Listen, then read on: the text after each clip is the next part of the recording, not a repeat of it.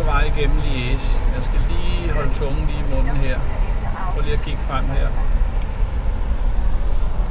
Der er vejarbejde.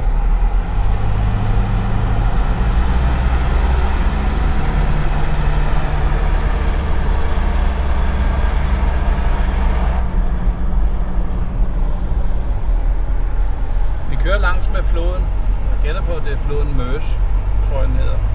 Her gennem byen, og det er altså dejligt. øh, sådan en rigtig sommerdag. Der er noget at kigge på.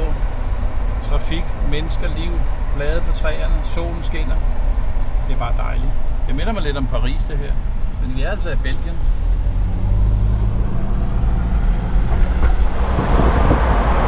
Åh, jeg skulle komme på forkerte vej nu. Ja, jeg er lige kommet til at køre forkert. Så nu siger den, at jeg skal lige vende her. Gør jeg ikke lige. Men jeg skal finde ud af, hvordan jeg kommer den anden vej. Herhen kan jeg snurre rundt, siger den. Okay.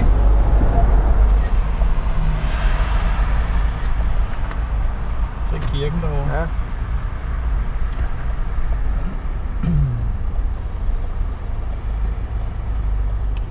Nå, vi skal over og køre på en...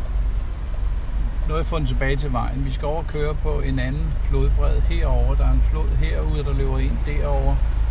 Så den skal over og ramme. Du kan prøve at kigge her, hvis du kan se det.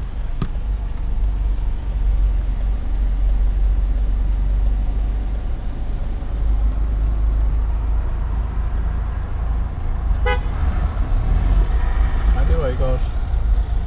Nej, det var kun til venstre. Det er heldigt nok at komme ind gennem centrum med en campingvogn. Så sidder man ikke og falder i søvn i hvert fald.